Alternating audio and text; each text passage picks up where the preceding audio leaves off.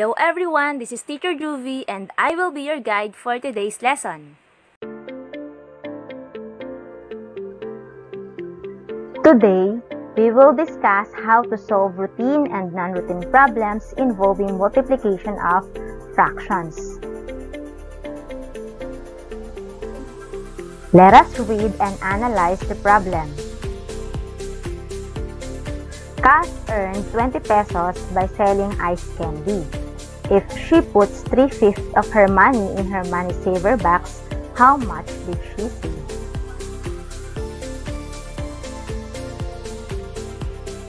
The problem that we have read earlier is an example of a routine problem.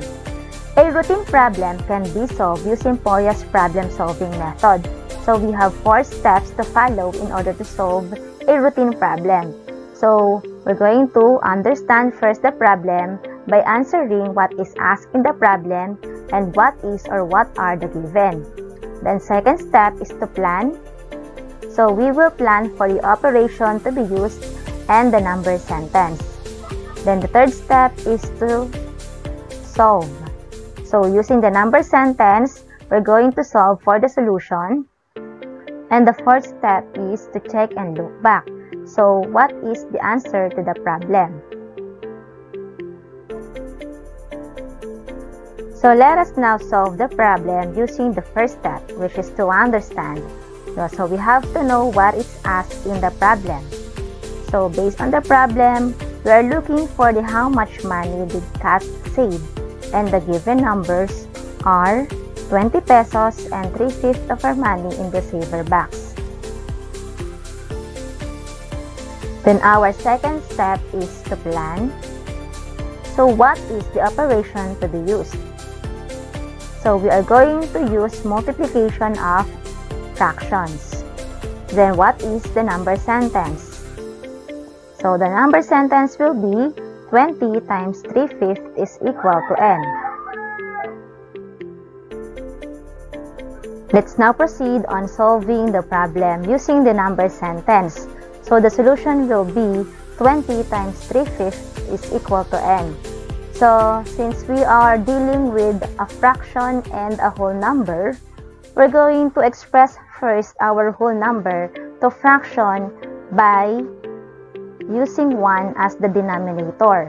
Then we can now proceed with multiplication rule. So we multiply the numerator 20 times 3 and multiply the denominator so 1 times 5. 20 times 3 is 60 and 1 times 5 is 5.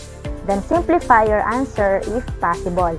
So we can use, uh, we can directly divide 60 by 5 or we can divide them by our GCF. So 60 and 5, the GCF of 60 and 5 is 5. So we divide them by 5. So 60 divided by 5 is 12 and 5 divided by 5 is 1. Then 12 divided by 1 is 12. So the final answer is 12. And for our final step, which is to check and look back, so what is the answer to the problem? we will uh, substitute the answer to the number sentence. So, 20 over 1 times 3 over 5. So, yung ating n will become 12 since yun yung nakuha nating final answer. Then, we will check if that is correct. So, 20 times 3 is 60. Then, 1 times 5 is 5. Then, 60 uh, get the GCF of 60 and 5. So the GCF is 5. So 60 divided by 5 is 12. And 5 divided by 5 is 1. Then 12 divided by 1 is 12. Check. So 12 is equal to 12. So check. Therefore, our final answer is Cass save 12 pesos. Okay, so let's try to solve routine problems involving multiplication without or with addition or subtraction of fractions and whole numbers. Have an example. Uh, read and analyze the problem. In a graduating class of 100 pupils in SB19 Academy, two-fifths decided to enroll at Bangtan Elementary School. one-fourth at EXO Montessori School, and the rest are still undecided. How many pupils are undecided? So we are looking for the number of pupils which are not yet enrolled or still undecided.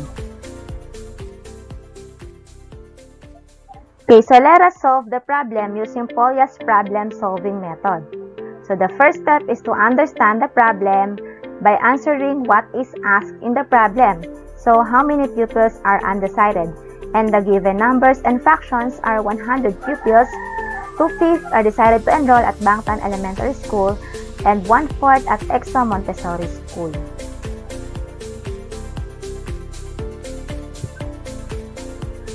Okay, so the second step is to plan. So we are planning for the operation to be used. And the operation that we will use are addition, multiplication, and subtraction.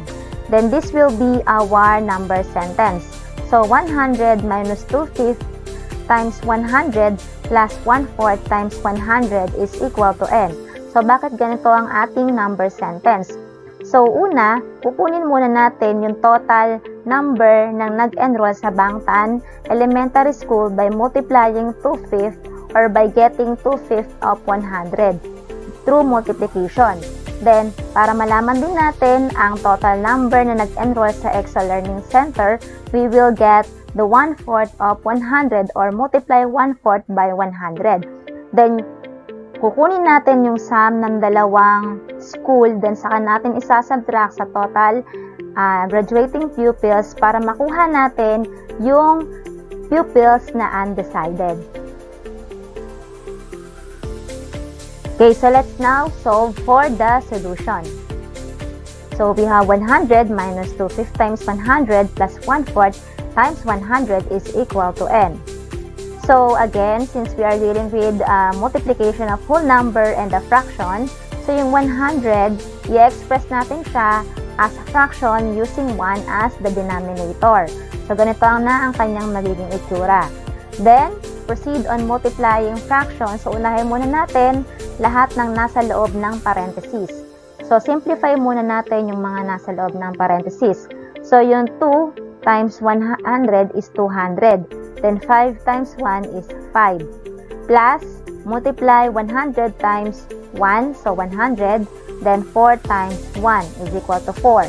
Then, kunin natin yung sum or we can pro, uh, divide 200 by 5. So, 100 minus 200 divided by 5 is 40 plus 100 divided by 4 is 25. Then, get the sum of 40 and 25. So, the answer is 65. Then, isasubtract natin ng 65 sa 100. So, the number of undecided pupils are 35.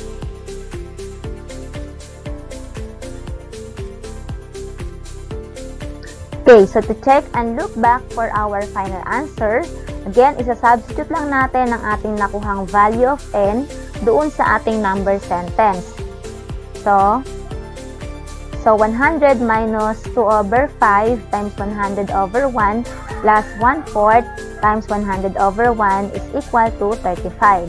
Then, 100 minus uh, multiply 2 by 100, so 200, 5 times 1 is 5, plus 100 times 1 is 100, and 4 times 1 is 4. Then, i-divide na natin. 200 divided by 5 is 40 and 100 divided by 4 is 25. Then, add the numbers. 40 plus 25 is 65. Then, subtract natin yung 65 sa 100 is equal to 35. So, 35 is equal to 35. So, check. Therefore, uh, the pupils that are still undecided to enroll are 35.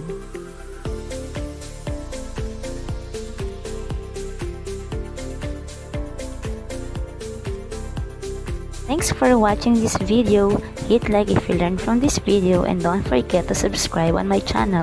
Thank you so much.